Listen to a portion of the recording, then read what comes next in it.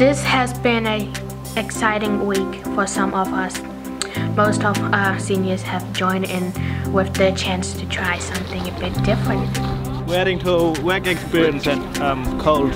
I'm doing Coles and he's doing um, YCM. YMCA. Yeah, That's YMCA. working with children. Yeah, thank you.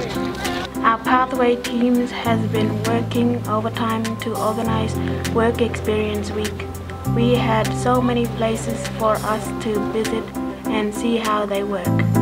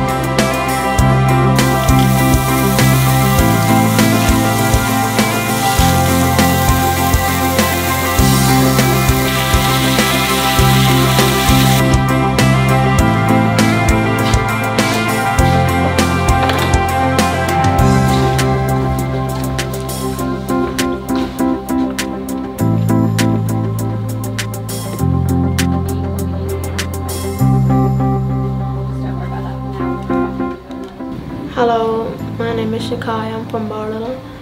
I've been here at the Reptile Center doing work experience this week.